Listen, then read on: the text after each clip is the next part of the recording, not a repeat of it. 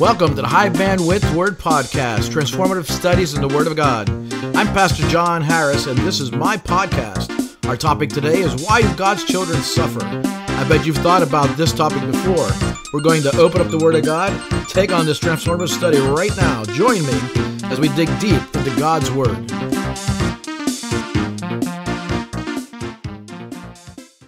and there's difficulties that have happened to many because of it. And as we heard tonight, we've seen today, uh, so much, so much pain, so much heartache. And why does it exist? And why, why is it there? And in particular for us, why, why does, uh, why do, why do we go through these, these situations and these difficulties? Uh, last week, uh, we looked at uh, just uh, a, a, the understanding that it's, God, it's not God punishing us. Today is a day of grace. It's a day of God's raining His grace upon us. He, he showers it upon us as a nation. I mean, God's grace is here today. It's, uh, it's, it, it's in His favor. He's not punishing. God's not punishing you. He's not punishing us. Uh, we know that all things work together for good. Right, right? All things work together for good to them that love God, to them are called according to His purpose. Uh, we know that uh, He that spared not His own Son, but delivered him up for us all. How shall he not with him also do what? Freely give us all things. He hath begun he which hath begun a good work in you, will what? Continue it. See, God's on your side. Second Corinthians, uh, I believe chapter 8 says that all these things are for your sakes. He's on he's for us. He's for our sake. Uh, he's for us. He's on our side. We, we, we are more than conquerors through him that loved us. He says in 2 Corinthians chapter 2 that he always causes us to triumph in Christ Jesus. Is that right? Okay, so it's not God punishing us. So why does the suffering, why does the problems and those difficulties happen? We're going to look at, I think, there, I think in Scripture, there's probably more, but I see four major reasons that suffering occurs. There's four major, four major components to it. And so tonight I want to look at the, what I call the first one, which is the not good one. The one that, that, that really has no benefit, of no value, and that's the suffering that we bring upon ourselves. And to, to look at those things. If you go to Galatians 6, uh, this is not God punishing you. This is an issue of what just reaping what we sow. That's what Galatians 6 says. Galatians 6, verse 7 says this. Galatians 6, 7 says, Be not deceived. What to say there? God is not mocked. For whatsoever a man soweth, that shall he also reap. For he that soweth to his flesh shall of the flesh do what? Reap corruption. But he that soweth to the Spirit shall of the Spirit reap what? Life everlasting. And God goes on saying, let us not be weary in well doing, for in what? Due season we shall reap if we faint not. So the thing, the, the, the planting, the, the sowing to the, the spiritual end of things must take a little time to see fruit. So be not weary in well doing, for in due season you're going to reap. The issue is when we plant to our flesh, it reaps what? Reaps corruption. Okay? It's planting seeds. Planting seeds. Look over at Romans 6 for a second. Romans 6. We're not talking about God bringing punishment. It's a natural result of sin. A natural result of sin. A natural result of living our lives contrary to the way God has designed us to be as children of God. And so because of that, we reap what we sow, not God bringing. It's just we plant seeds, and those seeds grow. Those seeds grow. Romans 6, look at verse um, 19.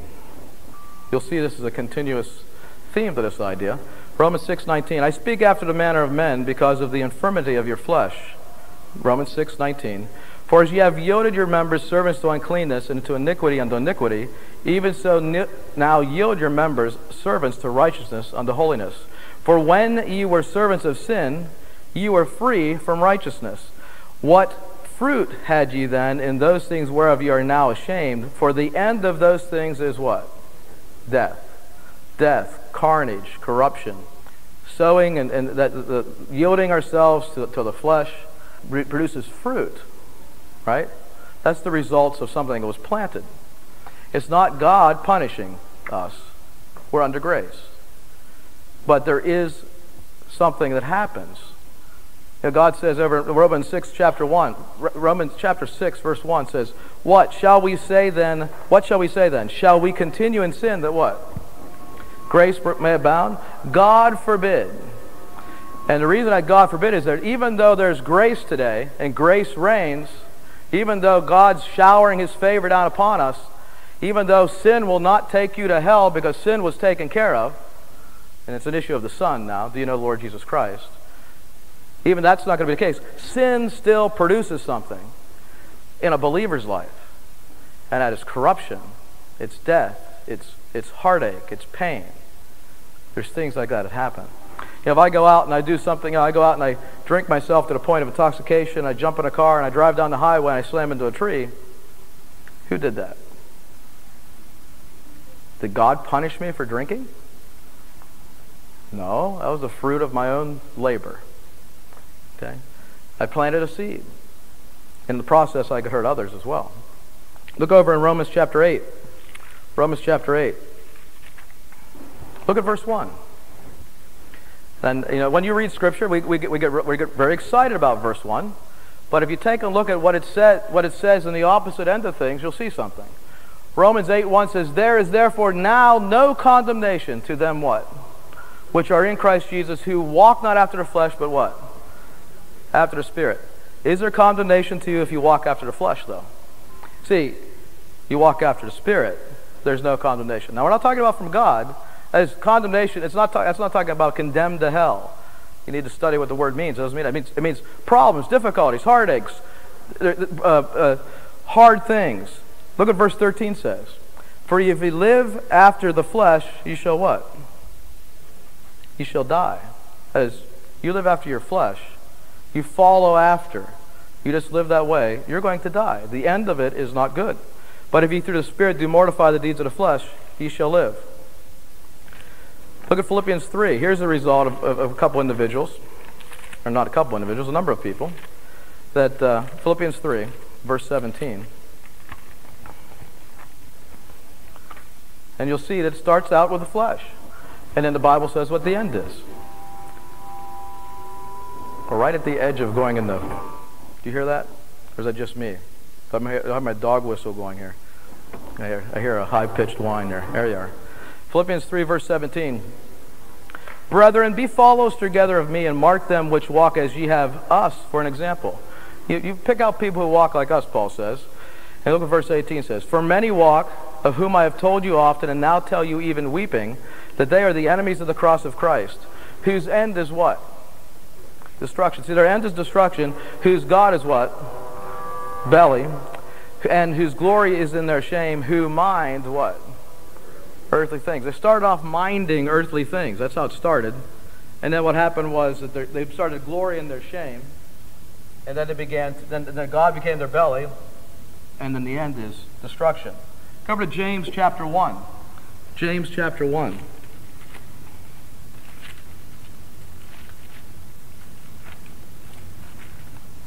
See, a lot of suffering we needlessly go through because we bring it upon ourselves. And a lot of that suffering is heartache. It's not, you know, some, the suffering can be physical, it can be mental, it could be emotional. It could be all those things because of what we plant. And some of the seeds that we plant, you know, God teaches a lot of things by looking out about the world about us. You know, not every seed produces fruit like that, does it? How long does it take for uh, an apple tree to produce fruit? Plant an apple seed. Takes a while, right? Asparagus. Two years. Okay. Um, in the, in the, in a marigold in the spring. A few weeks, you start having some things popping forth, right? You start seeing fruit much quicker. So some seeds, they blossom, they come to fruit very quickly. Some do not. Some take a longer time. And so some of the things that we have right now going on in our lives, the difficulties and the problems that we have, are from seeds we may have planted 30 years ago, 20 years ago, maybe in last week. So don't be surprised. Look at James chapter 1. First, start in verse 13. There's a truth here.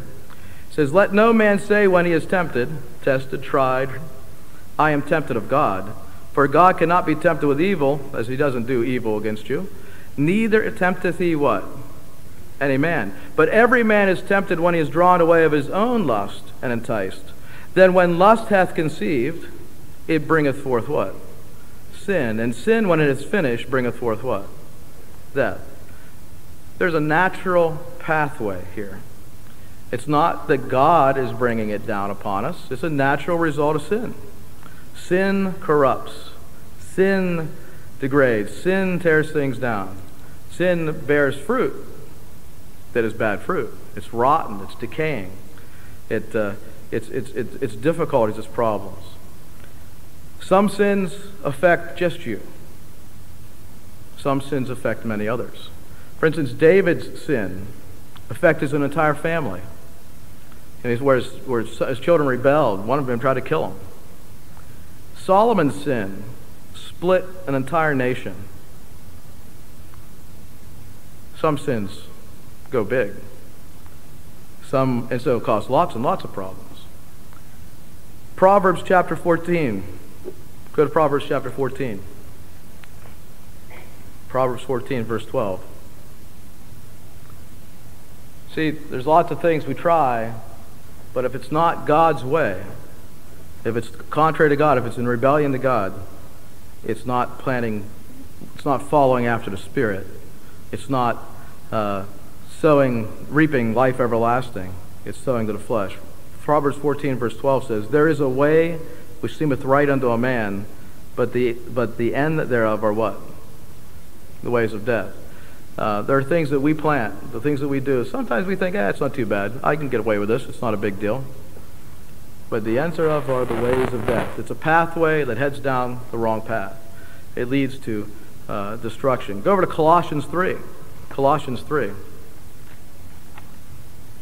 Not all those things are what you might think. You know, I'm not talking about necessarily all kinds of physical uh, manifestations of sin like fornication, adultery, and lasciviousness and stuff like that. Some of these things are less than that, but they're just as real seeds that we plant. And we wonder why problems happen.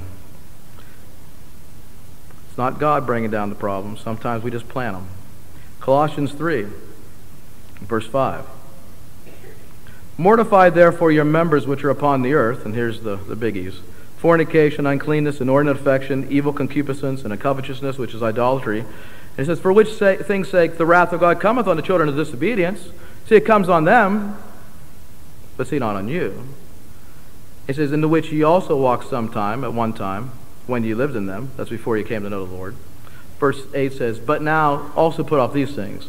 Ye also put off all these anger, wrath, malice, blasphemy, filthy communication out of your mouth. Lie not to one another, seeing that you have put off the old man with his deeds, and have put on the new man, which is renewed in knowledge after the image of him that created him. Put away these things as well. Things of like a certain certain type of way we treat each other. Those are planting seeds, and they sometimes get back, come back and get you. Okay, they plant, they root, they take root. You know, um, in the uh, the pyramids, they found seeds that were 3,000 years old you know, seeds of various crops that the, that the Egyptians had. You know, they put them a little water and dirt with them. Guess what happened? They brought forth fruit. Seeds don't go away. What we, learn to, what we need to learn to do as saints of God is when we see the plant starting to root up because we planted it, is you just don't cut it off. You got to get down to the root and take care of it. And God does that. That's why He says to mortify. Is this on when I'm over here? It's off. Okay, that's good. I didn't hear anything coming back. God says, to mortify, therefore, the things that are there. Put them to death. Take them out and root them out. You know, just like dandelion. You know, you ever just rip up a dandelion?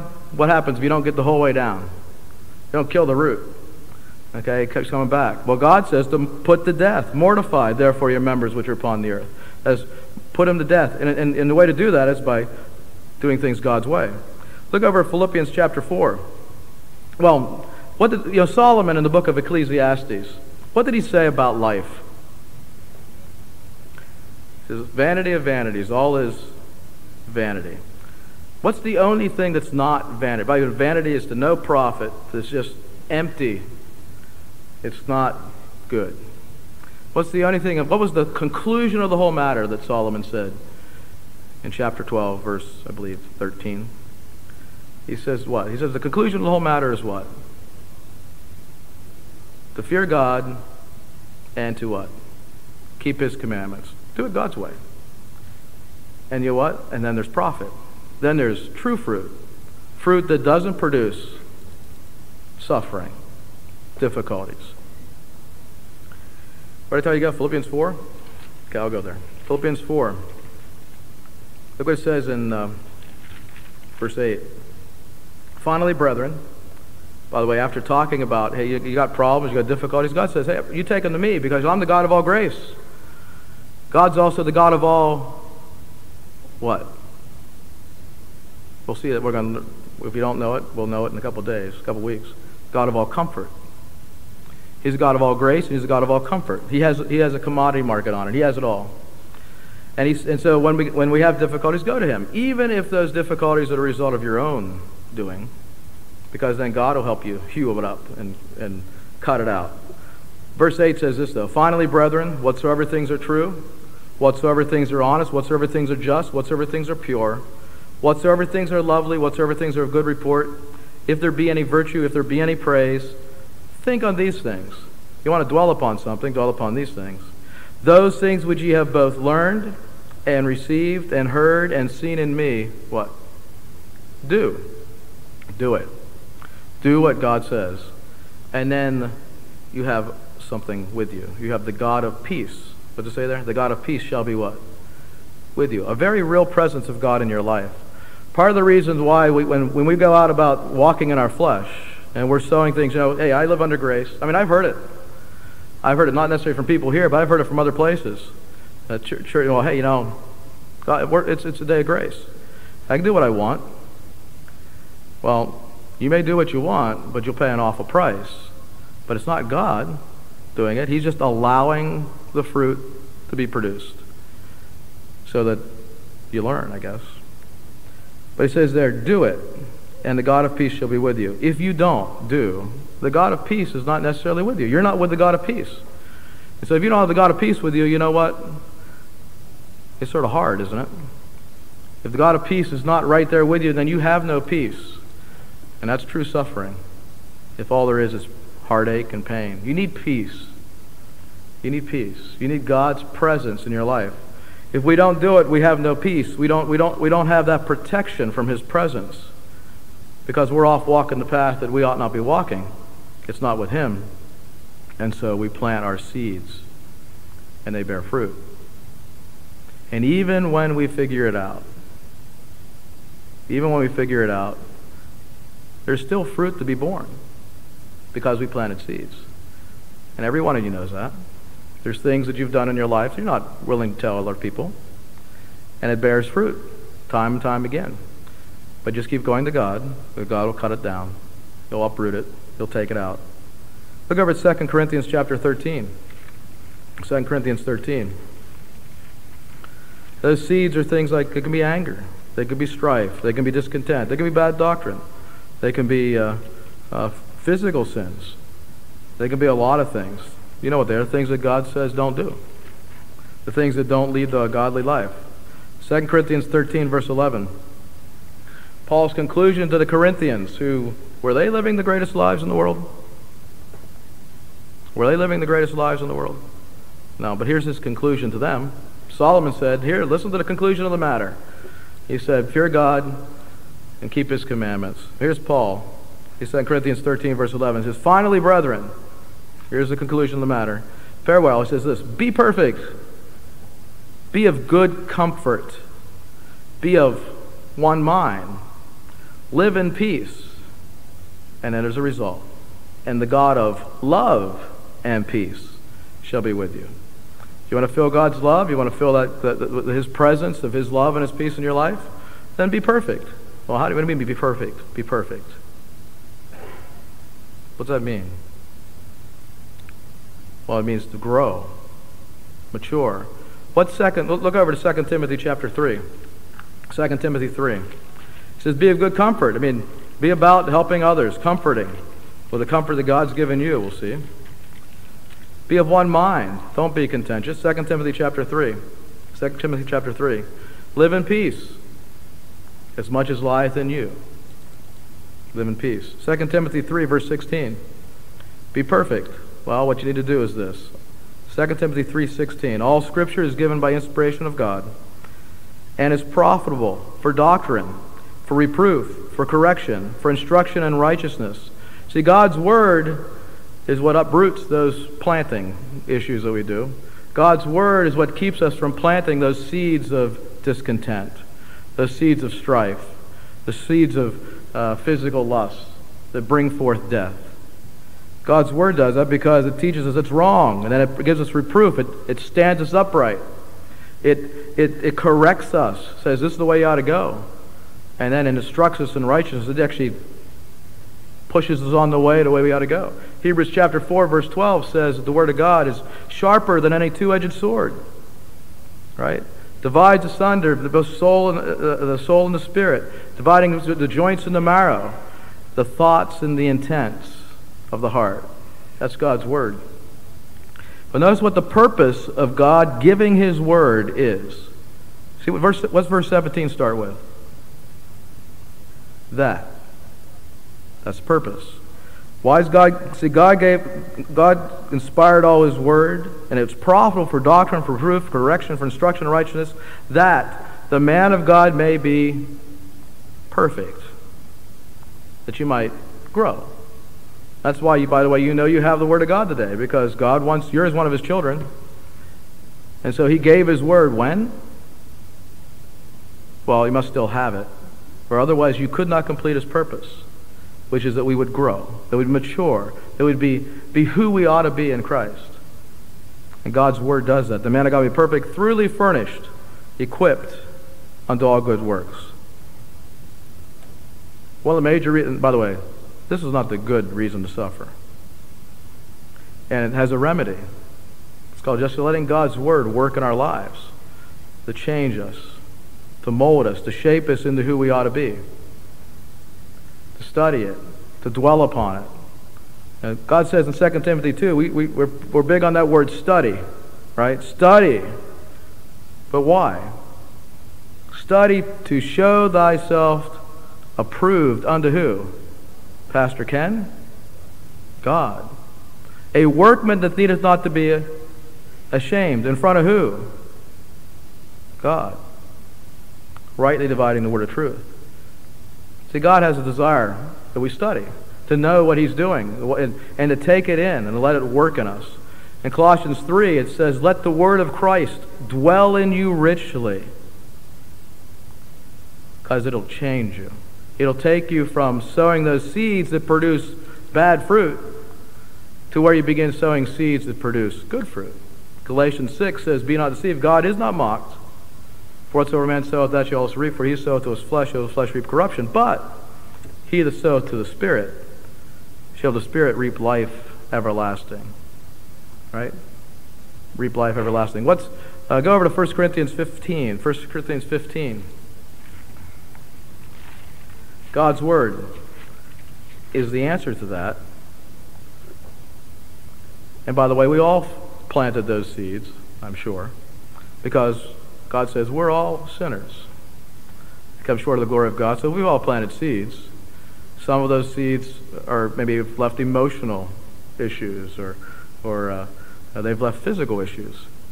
But 1 Corinthians 15, verse 58 says, Therefore, my beloved brethren, what does it say there? Be ye steadfast, unmovable, always abounding in the work of the Lord. For what reason? For you know, for, for as much as you know that your labor is not in vain in the Lord. As you let God's word work and your plant, and that's planting involves being steadfast, unmovable, always abounding in the work of the Lord. God says there's something of profit to that. Okay, that light, reaping life everlasting, and I want to get, get us there and talk about that uh, in two weeks, probably. Okay? So, anyways, bad seed, not good. The way to avoid it is to get into God's Word and let God's Word work on your heart. Now, there's another reason why we have suffering. And by the way, the rest of these have profit. The rest of these have some profit. They may not seem like it, but there is profit to these. Another issue is go to Romans chapter 8. Romans chapter 8. As uh, Solomon said, all is vanity. Vanity of vanities, all is vanity. That is, everything's empty. But he did say something else in Ecclesiastes. While you go to Romans chapter 8, I'm going to go to Ecclesiastes chapter 11. Read one verse to you. If I can get there. Here, Romans chapter 8, verse 18, right? That's where I want you to go. Ecclesiastes 11, verse 8 says this. Notice this. But if a man live many years and rejoice in them all, yet let him remember the days of darkness, for they shall be many. All that comes is vanity. That is, even in a life filled with joy, even knowing the Lord and being filled with his joy, there is darkness. See, we all go through hardships and difficulties. You're not alone.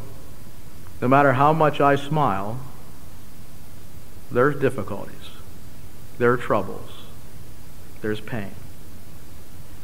There is always darkness, even in a life of many joys.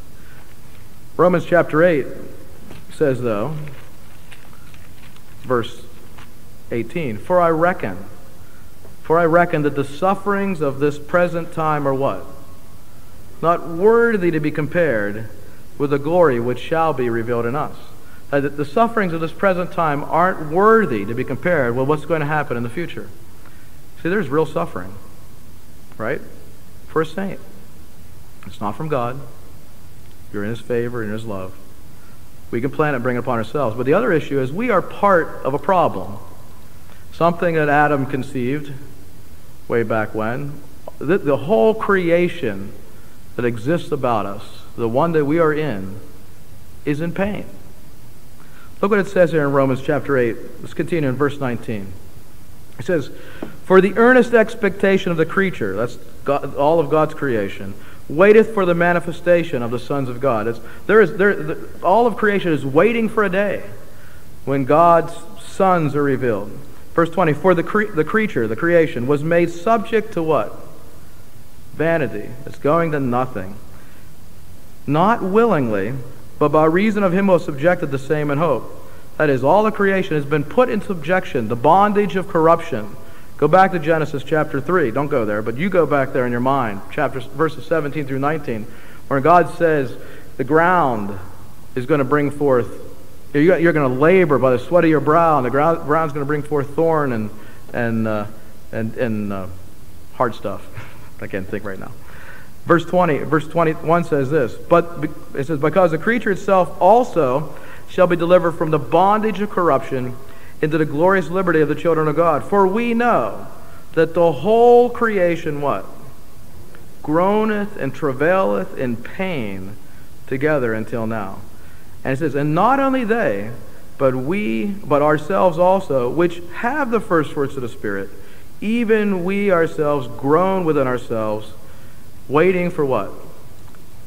The adoption, to wit, the redemption of our body. We're looking for that day when we're rescued, we're delivered physically from this present world, from this bondage of corruption. You know the reason why we get cancers?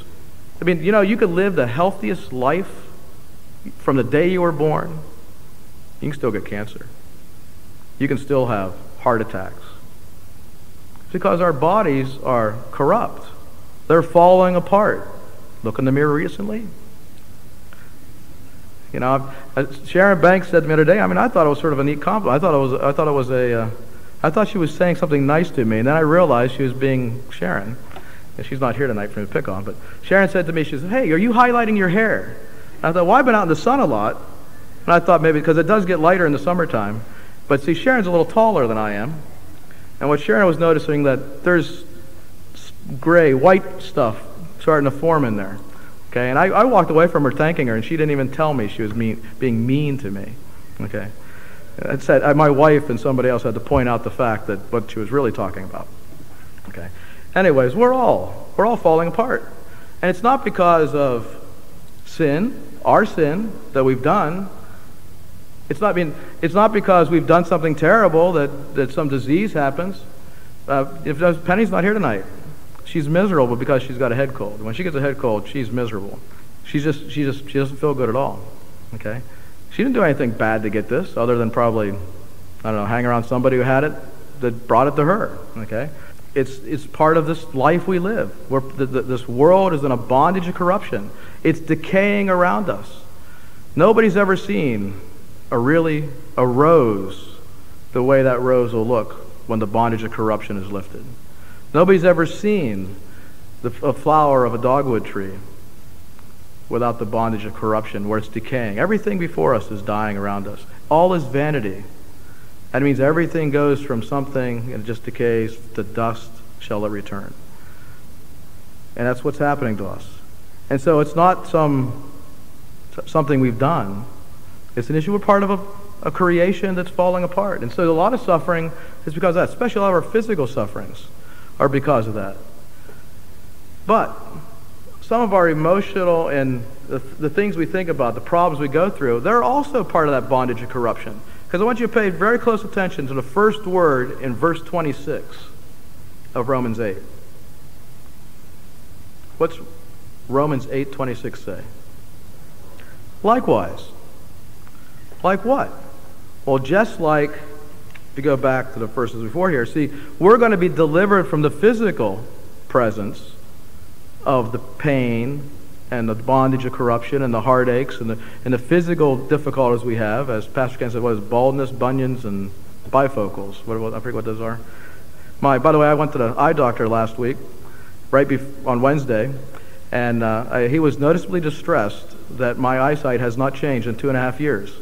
I guess that meant I didn't buy, have to buy glasses or anything. But then he did inform me that I'm in my 40s now, and that probably in about two years I'd need bifocals. I don't even own, I mean, I own glasses to, to, to look at the computer, but I don't need them to read. Okay, I can still read like here, here, you know, wherever you put it. But in two years, I'm going to have bifocals, he told me. So I felt pretty good about that. Okay, well, anyways, it says there that, that, we're, that we're going to be delivered. The, the Spirit, the, the first, we're the first spirits. There's, there's this adoption to what? We're going to be redeemed from this planet. The rapture is going to come, take us. But likewise, the Spirit right now does what in verse 26? So the Spirit also help with what? Our infirmities. And that's not talking about our physical issues. The, the rapture is going to take us out, the adoption, that physical uh, uh, manifestation as being a son of God. It says, likewise, the Spirit also help with our infirmities, for we know not what we should pray for as we ought, but the Spirit itself uh, maketh intercession for us with what? Groanings. He agonizes over us and over our needs. And many of those are emotional and, and mental issues that we have, our, our thinking. He searcheth the hearts, knowing what is the mind of the Spirit, because he maketh intercession for the saints according to the will of God. God's Holy Spirit is working on those things, but we have emotional issues there we have emotional groanings and, and, and, and issues. Anyways, and it's part of being part of a sin cursed creation because we have this flesh and we just keep falling apart. You know, our mind strays. You ever try to pray? As you pray, you you know, it takes a lot to keep focused sometimes because there's all this stuff around us happening and it pulls us away. Anyways, suffering happens for more than these two reasons. We're going to talk about another one next time, or actually two more maybe. We're part of a sin cursed creation. By the way, that's not your fault. You're just part of it. And so a lot of the difficulties, especially the physical things we hear about, and it's not, you know, and that's why, by the way, you can't judge if somebody sinned to have that problem, as they planted a seed sometime in the past, or if it's just part of their, their sin cursed creation that we're in. See, God knows. You know, not, God's not bringing wrath, he's, but it's a natural result of a natural body that's corrupt and falling apart. So the physical things we go through, uh, it's going to happen to all of us until the Lord comes and takes us. But notice that the sufferings of this present world are not worthy to be compared with the glory which shall be revealed in us. You've been listening to the High Bandwidth Word Podcast, Transformative Studies in the Word of God. I hope you've enjoyed the study. Please subscribe, like, and comment. This podcast is available on many podcast platforms. Just search on the title. Now, until next time, fight the good fight of faith, and God's best to you.